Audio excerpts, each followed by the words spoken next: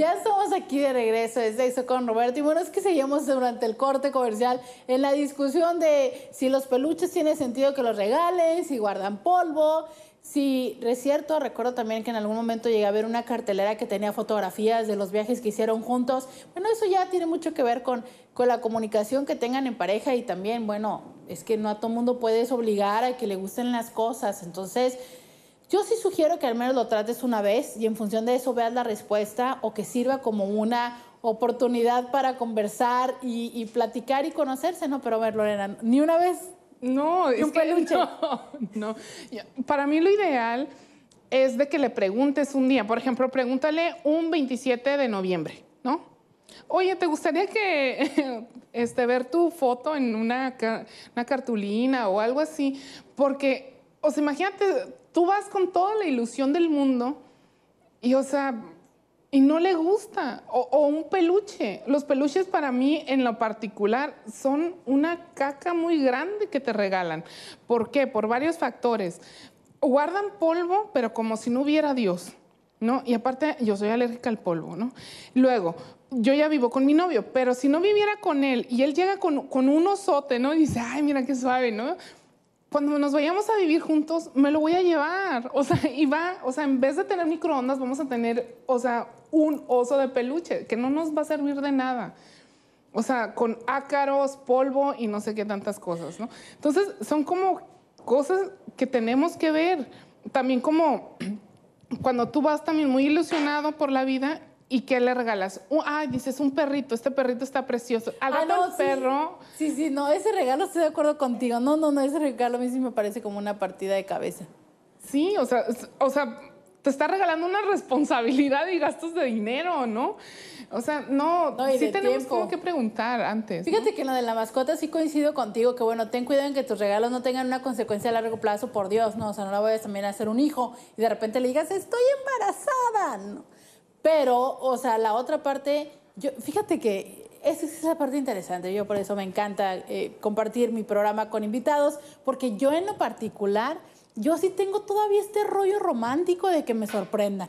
Entonces digo, e, es, una, es un arma de dos filos, porque entiendo perfecto lo que tú dices. O sea, la persona puede venir con una perfecta ilusión de esperar que yo brinque y salte, y a lo mejor yo no brinco y salto. Entonces yo digo, bueno, o sea, Considera lo siguiente, si la persona se tomó el tiempo y la oportunidad de prepararte una sorpresa, lo menos que podemos hacer, aunque no nos guste, es agradecerle y, celebrar y hacer lo posible por enfocarte en que esa fue una máxima sorpresa. Pero no sé, o sea, a mí, a mí, sí me genera conflicto esto de te voy a preguntar, ¿no? O sea, a mí sí me genera conflicto de te voy a comprar algo y dime cuál quieres. Desde, por ejemplo, el anillo de compromiso. O sea, que, no haya un esfuerzo de, generar una creatividad, de una forma original de entregártelo, que sea solamente el tomaísta. A mí en lo personal, a mí en lo personal, y lo acepto como Roberta Medina, no como la sexóloga, lo acepto como Roberta Medina, a mí sí me, a, mí sí me, me, baja el ánimo, o sea, que digo yo, oye, o sea, como, no, no me importa de qué forma, pero que sí se note que hubo un intento por. Pero bueno, esa es mi forma de ser. Hay mujeres como Lorena, hay mujeres como yo. Pues tú ve cuál te tocó, ¿no? O sea, qué tipo de mujer pero, tienes. O sea, eso también es, es lindo. O sea, a mí sí me gustaría que me preguntara, porque a final de cuentas el diamante lo voy a traer yo, ¿no? Entonces, haz tu circo, sí, dámelo como tú quieras, pero, o sea, dame algo que me va a gustar, porque no, no, no me des algo que te voy a arrumbar. ¿no? O que te voy a regresar, ¿no? También lo he vivido. Pero el punto está, ok, pregúntame, yo te voy a decir una gama entre 5 o 10, ¿no? Sí, darle una pista.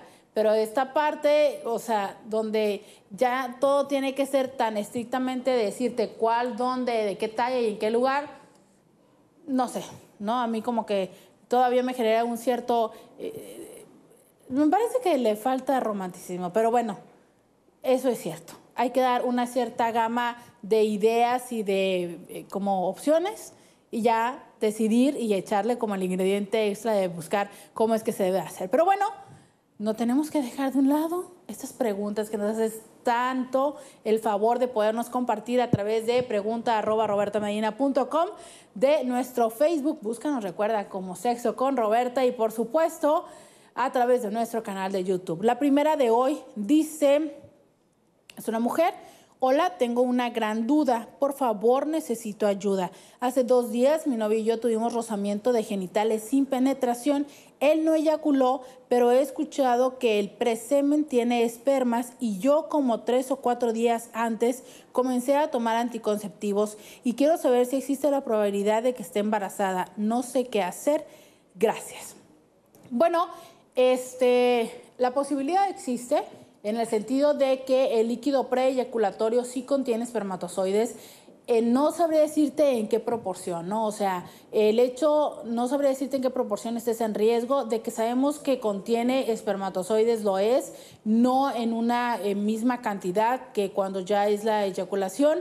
Sin embargo, hay varios condicionantes, ¿no? O sea, qué tanta lubricación había, a veces la misma lubricación hace y aprovecha y, sirve como un, una vía, ¿no? Para que puedan llegar los espermatozoides. Mira, te puedo decir que la verdad es que entre los millones y millones y millones y millones y millones que salen, solamente se ocupa uno para embarazarte.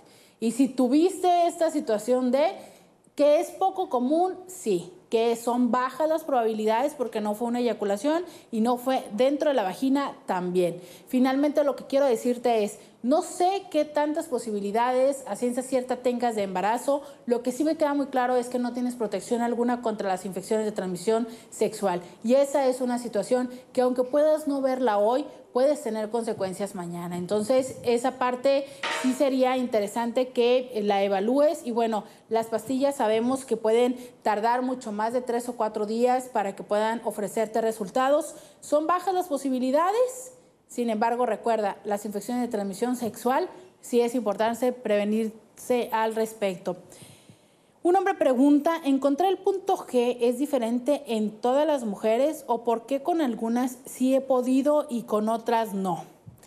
Pues bueno, básicamente porque algunas han estado más excitadas que otras. Recuerda que para encontrar el punto G es importante que la mujer esté excitada, puesto que el tejido se, se hincha se inflama, ¿no? Es más fácil que lo puedas percibir porque, bueno, está con la sangre, tiene vasocongestión y entonces es más sencillo de identificarse al tacto. Lo que siempre recomiendo es empieza la exploración en orden, ¿no? O sea, ya sé que empieces desde arriba hacia abajo, así, de manera tal en que puedas ir eh, sabiendo en qué parte ya buscaste y si está o no está, ¿no? Pero mucho depende del grado de excitación de la mujer y también la otra parte es, son de tamaños distintos, así como tenemos las mamas diferentes, por supuesto, también el punto G, la nariz y los ojos. Eh, ¿Por qué a los hombres les gusta ver pornografía? Eso lo pregunta una mujer. Lore, ya tuvimos un programa de pornografía. Sí, porque los hombres son muy lindos y románticos, por eso. Esa es mi respuesta. No, a los hombres, tanto a los hombres, bueno, es más común que un hombre vaya a ver pornografía a que una mujer la mire. Pero es, es el gusto como cualquier, como nosotras, de que, ¿por qué a las mujeres les gusta ir de compras? Pues no es, no es algo tan necesario de hombres, ni, o sea, ni tan exento de las mujeres, ¿no? Pero les gusta porque de ahí también aprenden. Han aprendido, o sea, de las primeras relaciones sexuales de seguro antes tuvieron que tuvieron pornografía.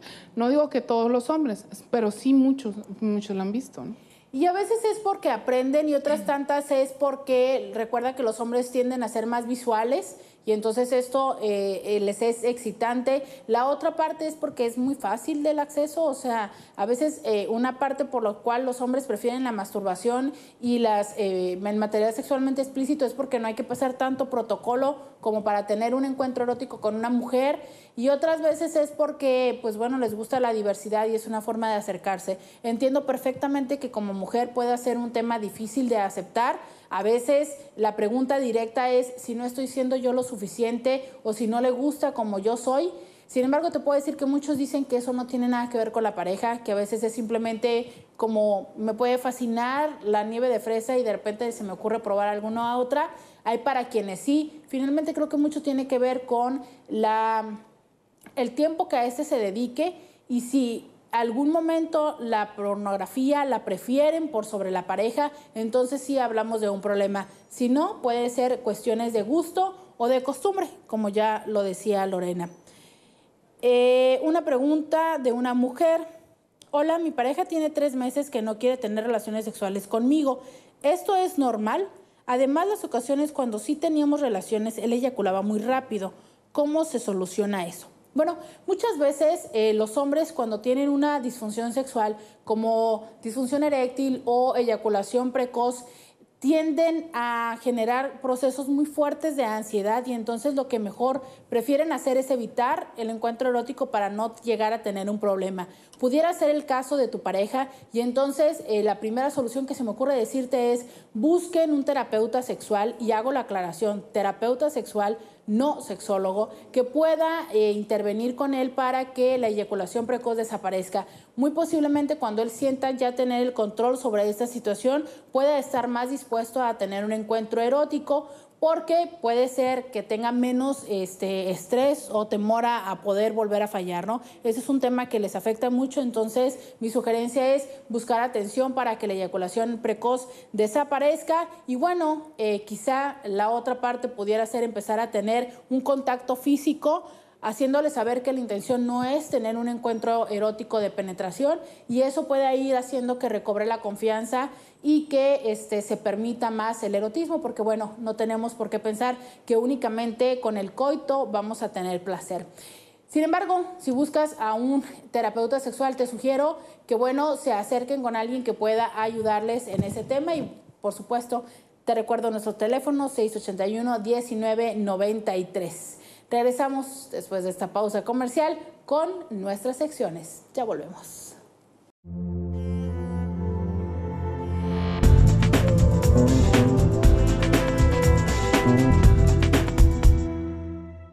Si quieres solucionar un problema personal, algo en tu relación de pareja o solamente quieres consejería, algunas preguntas respecto a la sexualidad, por supuesto, márcanos 681-1993, el centro especializado en psicología y sexología integral, el primero en la región con más de ocho años de experiencia. Somos tu mejor opción. Roberta Medina, psicóloga, sexóloga y terapeuta sexual, 681-1993 o búscanos en Facebook como Sexo con Roberta.